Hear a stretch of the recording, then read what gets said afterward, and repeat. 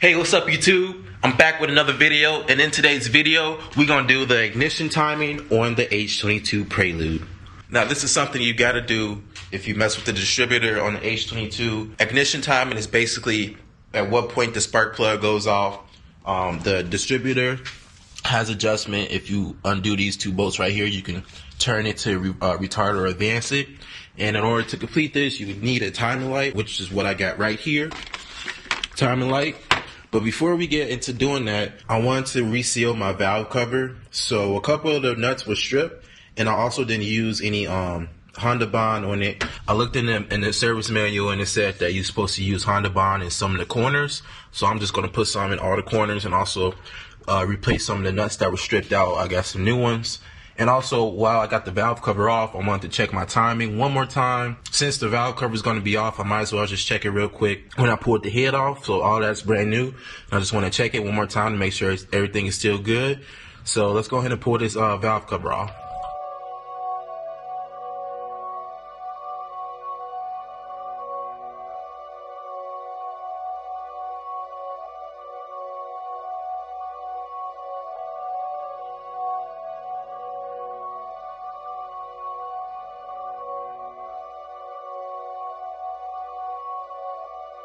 Okay. Okay, so I got the engine spent over to top dead center. And if y'all look at the cam gears right here, so you can see an up arrow right here and the up arrow on the intake side right here facing straight up.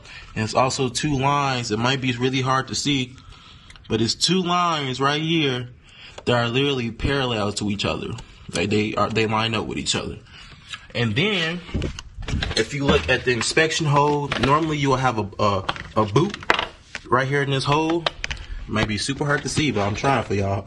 if you look inside, you will see a cross up in there, and it's gonna line up with that little gun sight right there. So we are definitely in time. So I'm gonna go ahead and slap the valve cover back on, and we can work on the ignition timing with the engine.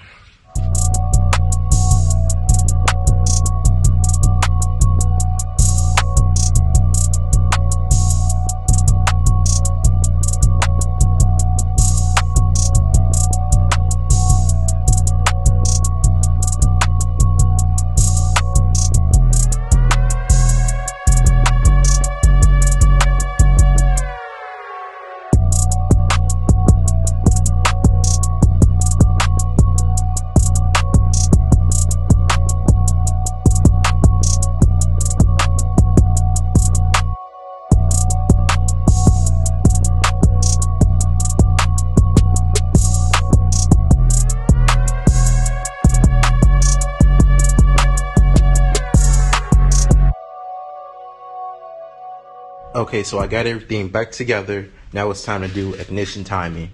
So the first thing that you want to do is you want to go inside the car. And if you ever checked your, um, this is for OBD1 preludes. If you ever checked your uh, check engine light, you'll notice the service connector right behind the uh, center console. What you want to do is jump that off. I just use a paper clip. Clip. I stick that up in there. It's a blue and white wire, and a I believe that's brown and white you can honestly reach behind here. You even got to get under here. You can reach behind here and you will feel one clip. That's for another plug. And then it's the second one. And that'll be this one. It's literally like maybe three inches to the right of this plastic cover. Um, if need be, you can uh, go under here and look. But uh, I can just feel it now. I've done it so many times I can feel it and you pull that out and jump that off. Why you want to do that is it to stop the ECU from doing any um, timing corrections of its own, and it'll allow you to set your ignition timing with the timing light. So now let's get under the hood. Okay, so I already got the timing light hooked up um, off camera, but I'm gonna show y'all how to do it. So you should have two power leads and then a spark plug lead. So you want to hook the power leads, positive and negative, straight up to the battery. Should make the light come on. And then you want to take the spark plug lead and hook it up to cylinder number one, which is closest to the timing belt. Um, you want to try to get the plug as close to the um, like the black part right here as much as possible. You also want to make sure it says plug right here with an arrow. Make sure that's uh, facing the direction of the plug, which is how we got it set up. Um, now, a lot of people say you want to warm the car up before you um, hook the time light up. I don't understand why. so I um, just hooked it up, and then I'm going. to You have to let the car warm completely up all the way before you do any type of timing stuff. Um, people might say to hook it up after uh, warming the engine up, that way that the light doesn't flash all the time. But this uh, this light has the ability to turn it off. I'm not sure, uh, but I'm doing it this way. That way, all I gotta do is just let it warm up, and I can just sit here and let it warm up, and then once it's ready, it's ready to go. I don't have to shut it down, nothing. We could just go ahead and do timing and get this done. So I'm gonna start it up and let it warm up, and we go from there. I haven't started this car in a while, so it might be a little rough, but let's see. Turn the heat off, straighten the wheel out. Let's fire it up.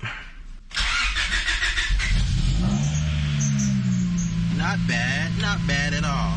So now we're just gonna let the car warm up. Um, they say just to warm it up till until the fans come on. Um, I'm gonna just let it warm up to the temperature halfway, and then we'll go ahead and uh, do the timing. Okay, so the engine's all warmed up. Um, I actually set it off camera because I knew it was gonna be hard to see. But um, depending on what lights you got, you'll want to set it to the correct uh, ignition timing, which is I believe 15 to 16 degrees on these H22s. Um, and then I got it, I lined it up, and I basically just moved this distributor. Like I said earlier in the video, you want to undo these just a little bit so you can turn it, and you want to basically line up the crosshair with the, it's like a little line on the flywheel.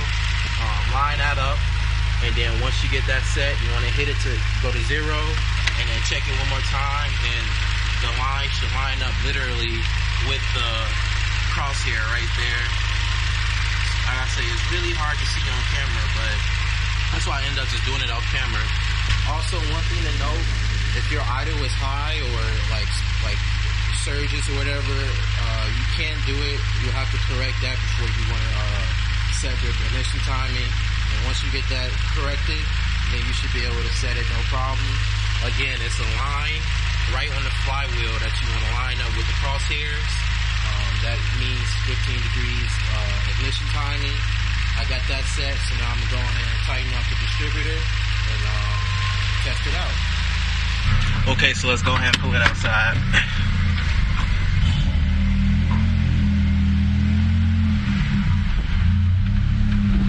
I don't even know if I drove this car on camera yet. I'm not sure.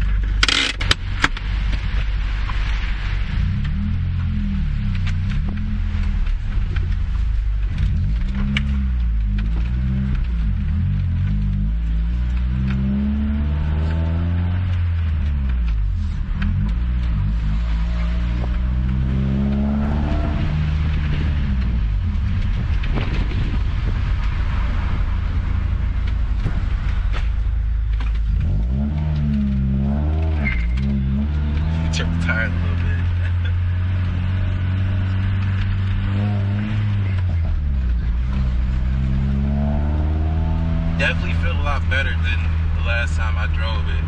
Um, last time I drove it, I didn't I didn't do the distributor timing yet, the ignition timing. It definitely feels a lot better now. The throttle response feels pretty good.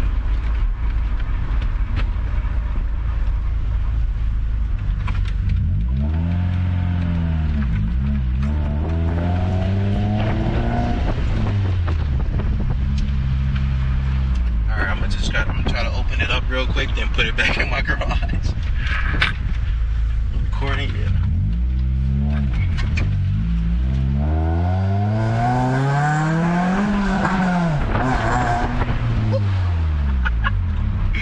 Back in the garage and go.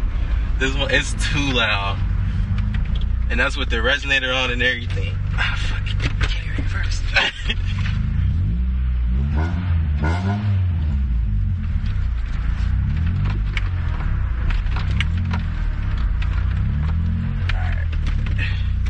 No, yeah, she feels good, like for real. It's still some stuff I gotta like I gotta dial in, but for the most part, I feel like it's ready to go. You know, I feel like it's ready to go on the road. So I still got to get plates. that's why we just went around the block. Um, that's gonna be the next thing to get plates. It's still some little minor stuff I gotta do, um, like a little electrical light stuff. But other than that, I feel like the car is ready to to be driven, ready to you know be my daily for a little bit. That's the goal. I want to take the car and I want to daily it for a couple weeks just to make sure I could check everything out, make sure everything's good. But right now, like it literally feels great. Like you heard it, tripping tires. It got into VTEC. It's backfiring. This shit's so sick. Um, but I'm gonna go ahead and wrap this video up. I hope you guys learned something. Uh, maybe I taught y'all something. I'm not a mechanic. This is my first time actually doing this, so I hope y'all learned something. And I'll see y'all on the next one. Make sure to like, comment, and subscribe. And I appreciate y'all watching. Project Prelude out.